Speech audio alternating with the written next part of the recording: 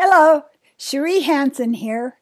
First of all, as always, I have to express my gratitude for you watching these videos, for the people that are leaving me positive comments on them, for people who are mirroring back to me that somehow something I've said has helped them through this time of turbulence and changes in energy. Um, I also am very appreciative if you subscribe to my channel. That would be amazing. I would really, really be happy about that. Uh, why that is, is because the more people that subscribe, the more likely it is that something that I am teaching will go out into the world to help someone who needs to hear it this hour, this day, this week. They're struggling. Um, it's kind of like the old movies where you've got uh, an actor in an alligator suit in a pond attacking the hero. Uh, where we are right now is uh, we feel like a Sharknado and alligators and big big pterodactyl sized mosquitoes are all attacking us. And that is because the ego is set to look for danger.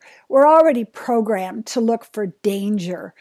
So the feedback is very, very important when other people are seeing, yes, this is what we're going through. I'm not crazy. I'm not broken. It's just what the energy is like right now. And um, I also would like to say that when I do my YouTube videos, I always do them after my Wim Hof breath.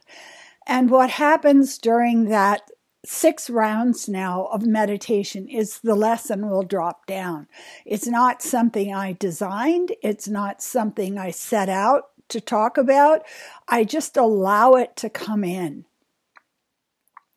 And what happened today was the understanding that I needed to transmit to you a lesson I got from one of my many counselors in my life. so much spiritual physical therapy is like, ow, ow, ow, my, my brain hurts. Do I have to feel this? Yes, yes, you do. and the message was the Sherlock Holmes, the Sherlock Holmes detective. What you imagine is you stand in front of your yard or your house and you stand there as if you're investigating some kind of mystery. the mystery is called the mystery of you. because we don't understand ourselves. We are lost to ourselves. We need to put a poster up for our, our true identity, for our true soul personality. And you say, lost, help me find. We don't have, uh, we don't have, uh, milk containers any longer with the missing identity on it, but we're certainly in a place where we're really not getting who we are. So this helps. This has helped me a lot, this counselor taught me. Stop in front of your house and ask the question. As I look around, as I look at everything in this yard, the front of the house, the steps, the trees. What kind of person lives there? We don't do it to criticize ourselves. We're not in a place where we're going, oh my God, I see all the things I should do if I'm going to be perfect and just get swept up to heaven without even having to die. I'm just, and there I am. Uh, no, the point of this is for you to understand that everything that you have done, everything that presents in your life is a clue. It's a clue to who you think you are. So for me, my front steps are a coral orange. Uh, when I was in a place of great struggle, I painted my steps pink because I wanted my steps to say, Love is here. This is a place of soft love. And I, who did I do that for? Not for people walking past, not for some assessor of if I'm doing a good job, an inspector, an inspector of my life. No, it was for me. It was to mirror back to me that I was ready to be gently loving other people. And then you open the door. Are you ready? Are you ready to go in? Okay. You open the door and you stand in the entryway. And you are Sherlock Holmes.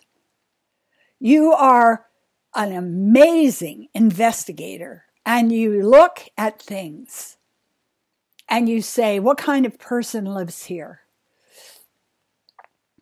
The thing that has happened for me as I've gotten more uh, peaceful with who I am, more calmed down, less reactive, less defensive, is when I step in the entryway, it becomes more and more calm. There isn't a bunch of junk everywhere. It feels open and inviting and tidy and clean because I have walked the walk. I have wrestled with the alligators and ducked when the sharks were flying by. And this is the place I've come to. And then you go into every room in your house and you can journal this. It's amazing if you do it. What does that room say about who you are? And for me, I've got very powerful art that I created on my walls. And this is my story. It's my art. Why is it my art? Because I'm owning my voice. I am owning my identity. I am projecting who I am, not hiding like, oh, here in this closet in the back of the room. That's where I live. Don't look at me. I don't want to. Or if somebody who, on the other hand, doesn't know who they are. And so what they do is they go to HomeSense or Winners or someplace like that and get that nice, that nice white camellia painting or uh, a landscape of a tropical sunset because they don't know who they are. They're allowing somebody outside of them to tell them who they are. They're not living from their own soul outward. And when we're lost to ourselves, when we don't know how to express ourselves with authenticity, we are very vulnerable to suggestions from the outside world. You should wear this. You should like this. You should join this group. Oh, your living room has the perfect tropical sunset on the wall. You must you must really be artistic. so no, I'm wearing a mask. I'm wearing a mask in the way my rooms look. I'm wearing a mask in the kind of clothing I'm wearing. I'm wearing a mask in this you know, this battle you've already lost so that no one will know who I am. So go through your house. If you see chaos, if you see disorder, if you see, and I've, I'm guilty of this, oh my gosh, um, too much, too many things, too many things then what this says about the person is that they are in a state of confusion, they're in a state of uh, chaos, they're in a state of carrying their past, con, um, their past wounding in with them now. Because as soon as you step into a Zen-like space, as soon as you step into a space that feels calm, it helps you calm down. So, this isn't about being the perfect little house person. This isn't about, uh, you know, fitting in. What we're doing when we walk through our house and look at it and write about who would live here is we are using a methodology that can help us understand what our signature energy is right now. What is it? Does this feel calm and loving and clean and orderly? Or does this feel like somebody who's desperately trying to be seen as part of the herd? And that's up to you. And one of the things that we do that really slows us down, oh man, it's like trying to toe dance when you've got two bowling balls strapped to your ankles, is using the past to tell us who we are. That's done. That died. That person is gone. That story is over. Where are we now? We are now. We're now. and what's going to happen next? We don't know. we don't know what's going to happen next. We don't know who we're going to be next. So, to be in a place where we simply create the space around us that pleases us and that makes us feel happy and makes us feel calm shows us that we have arrived in the environment we want to live in. So that was my thought for today. It was about let's solve the mystery of who lives here. Let's solve the mystery of what this soul personality is like. Let's solve the mystery of now right now. Thank you so much.